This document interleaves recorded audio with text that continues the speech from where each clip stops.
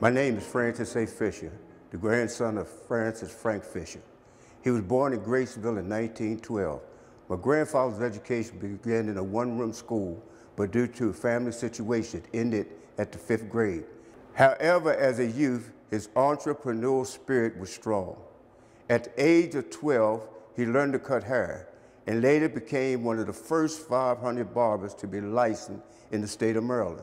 To serve people who needed his skill, he went where it was needed, to sick, to the hospitalized, and the shut-in.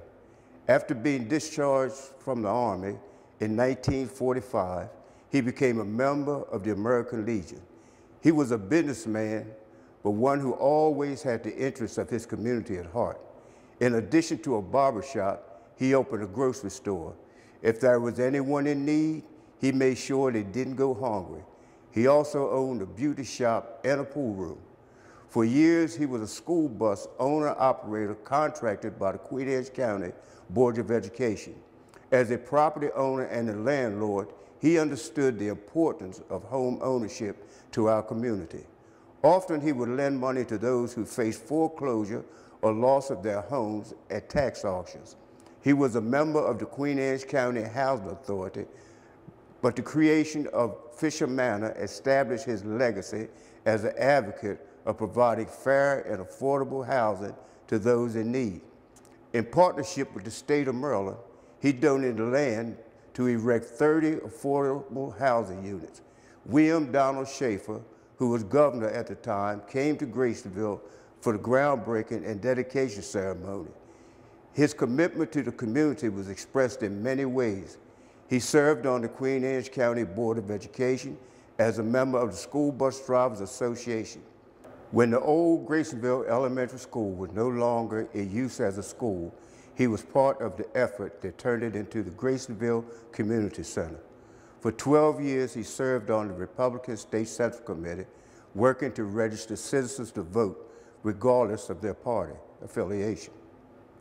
Through membership in the NAACP, the Biracial Committee, and the Office of Equal Opportunity, he worked for equal rights and justice for the African American citizens of Queen Anne's County. I am honored to have my grandfather, Frank Fisher, to be featured in this presentation of educators, entrepreneurs, community leaders who have contributed to the advancement of African American life in Queen Anne's County.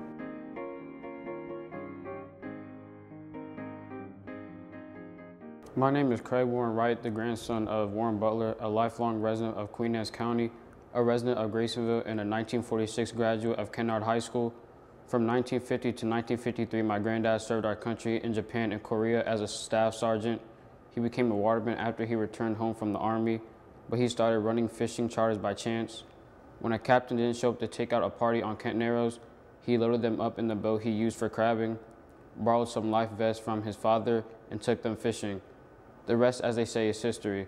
As a waterman, you may have seen him feature in the documentary Black Captains of the Chesapeake produced by Vincent Leggett of the Blacks of the Chesapeake Foundation.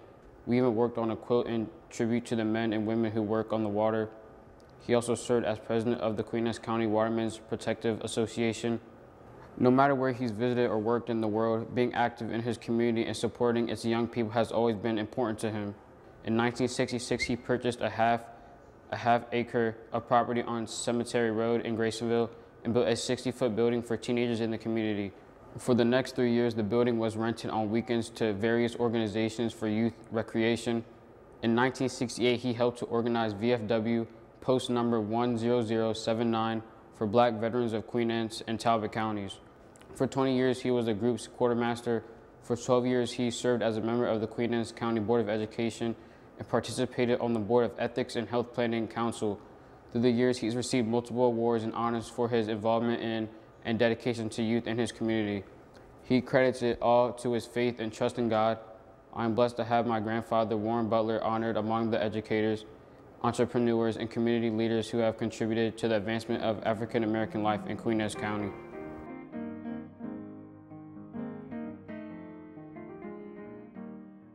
My name is Clarence Brown II, grandson of James Jimmy Pauls, a lifelong resident of Queen Anne's County and the owner of Paul's Tire Service. My grandfather began his automotive career at Pippin's Garage in Centreville. During that time, he was also employed by Queen Anne's County Board of Education as an independent bus contractor. He worked at Pippin's for 25 years before opening Paul's Tire Service in a building only large enough to service one vehicle. His business grew from that small space to a garage that can service several cars and larger vehicles. Now he specializes in car, truck, school bus, and farm equipment. He provided roadside service, but his business grew so much that he had to discontinue those calls. Many satisfied customers have referred to him as honest, professional, and the best tire man in the business. He's the only African American business in Queen Anne's County to own and operate an authorized tire service. Paul's Tire Service was also the first authorized African American Farm Bureau dealership. Through that connection, he won many awards from SafeMark for outstanding sales, and, and for 45 years, he's, he's been a successful real estate investor and property owner manager. His generosity and commitment to community causes is unmatched and appreciated by all that know him. My grandfather James and grandmother Dorothy sponsored the first Black History writing contest at Kennard Elementary School for several years, 1999 to 2001 to be exact. Students were awarded savings bonds along with other community members. They organized and supported the Bill Denby Fund, purchased a handicap accessible vehicle for him. They also purchased instruments and clothing for students in need at Churchill Elementary and Kennard Elementary schools. He has also been the recipient of numerous community awards and accolades.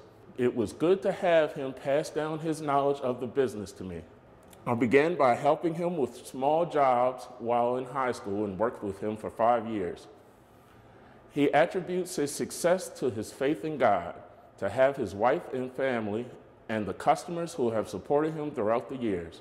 And I am honored to speak about the example my grandfather, James Pauls, has been and continues to be of integrity, work ethic, and entrepreneurial spirit.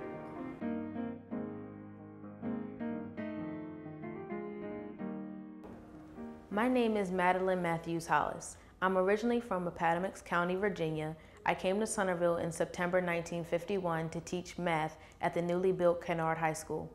At the time, the school had five classrooms. My room was so small I had to stand in the doorway to teach. Because we lived under segregation, many of the teachers who came to Centreville lived in a home owned by an African American family. We called it the teacherage. In those days, African Americans could not try on clothes in local stores or sit down to eat at restaurants. We couldn't even get mail delivered to our homes. Instead, we had to go to the post office to pick it up ourselves. I enjoyed teaching and living in the community, and so I stayed. I was able to see the children I taught grow up, mature, and become productive citizens. To this day, many of them still call me a good teacher. I was blessed to teach in Queen Anne's County for 30 years, both pre and post integration. I have witnessed firsthand the inequalities of, of education in the African American community, and I am proud to have been a part of providing encouragement to our young people striving for a better life. I was always active in the community. I was a member of Charles Wesley in Centreville until it became New Life United Methodist Church. I was a member of the Wesleyan Service Guild and later the United Methodist Women. I sang in the church choir and was a director of the church's Vacation Bible School. At the county's first organization of an arts council under the direction of Bob Salit, I became its vice president. I have been president of the Lucretia Kennard Homemakers as well as the Queen Anne's County Homemakers from 1985 to 1995. I was a member of the Board of Education. Even after I retired from teaching in Queen Anne's County, Kennard High School was always important to me, especially as one of the three remaining original teachers. I became involved in the Alumni Association, there was talk of tearing down the building, I had this to say Black people put their nickels and dimes together to build this school. If I have anything to do with it, that will never happen. And thanks to the hard work and dedication of many, it did not. The Kennard African American Cultural Heritage stands as a tribute to those who came before and those working today to maintain its legacy. I'm proud and honored to be one of them. My name is Anaya Reed granddaughter of former Kennardians, and it has been my great honor to portray Miss Madeline Hollis for this presentation, featuring educators, entrepreneurs, and community leaders who have contributed to the advancement of African Americans' life in Queen Anne's County.